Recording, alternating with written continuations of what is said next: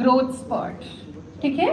First sign is growth spurt but if we ask you first visible sign पीलार्क what Tanner would correspond to पीलार्क Tanner two मतलब two and अब अगर कुछ भी लिखा है means puberty has happened okay okay what is the criteria to say precocious Very good, excellent. Less than 8 years in girls and less than 9 years in boys.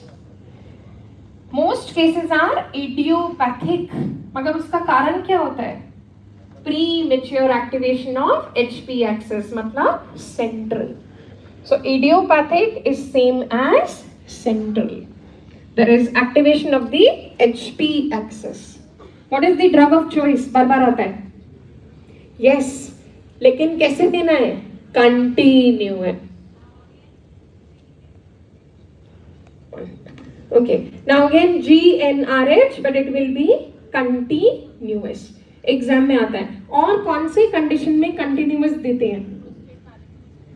Precocious puberty के अलावा fibroid endometriosis वो endometrium नहीं है endometriosis hirsutism abnormal bleeding and two cancers इन्हीं set का PYQ है prostate and breast दोबारा बोलते हैं अदर कॉजेज जिनमें आप यूजेस जिनमें आप कंटिन्यूस देते हो apart from precocious fibroid uterus endometriosis hirsutism abnormal bleeding, breast cancer and prostate cancer.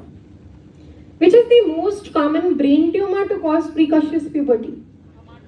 yes, it is a hypothalamic hamartoma. ठीक है? It is hypothalamic hamartoma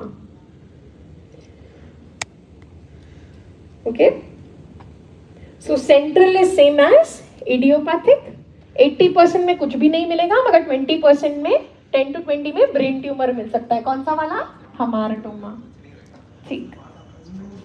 Okay okay. Peripheral precocious puberty के causes exam में आते हैं। पहला हमने लिख दिया मैक्यून एल्ब्राइड दूसरा हमने लिख दिया granulosa cell tumor can you tell me why yes लिखा है because they produce estrogen then other causes it could be an